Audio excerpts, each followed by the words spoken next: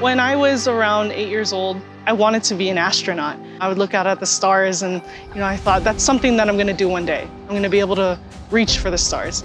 So when I got to college, I joined the NASA Student Launch and almost every single person was an aerospace engineering major.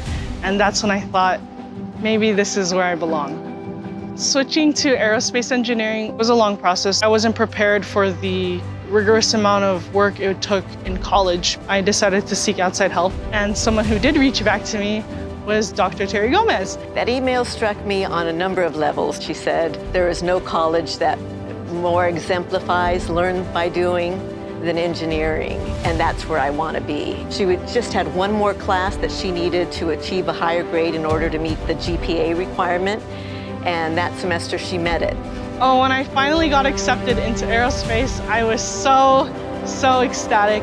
And my dream of becoming an aerospace engineer was, was gonna happen. And then summer of 2019, I found out that I was pregnant. When my family found out I was pregnant, they were really shocked. A lot of it was met with, you know, confusion, a little bit of anger, and I just felt like I disappointed them. I reached back out to Dr. Terry Gomez. I told her I was pregnant, and the first thing she said to me was, congratulations.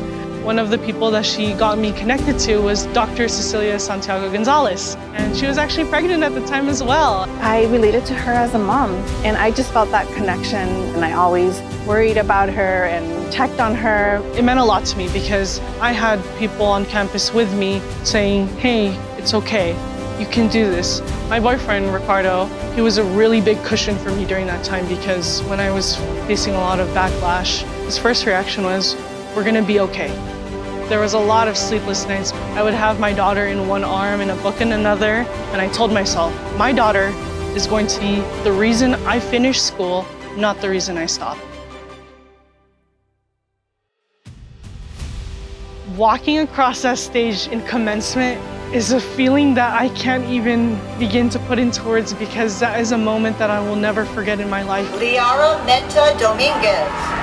I spent eight long years trying to get this degree, and I really, really did it. And I've kept true to the promise that I set out from the very beginning. I was overcome with emotion to be able to hug her and know it was about showing her daughter that her mother could work through hard stuff. It might have taken her a little bit longer, it might have been harder, but I never, ever doubted that she would accomplish this. I did not imagine that life would take me down this path. I made a good amount of mistakes and my path changed multiple times, but I'm glad it did. I accepted a job offer from Northrop Grumman. I love where I'm at now, and I'm, I really made something of myself.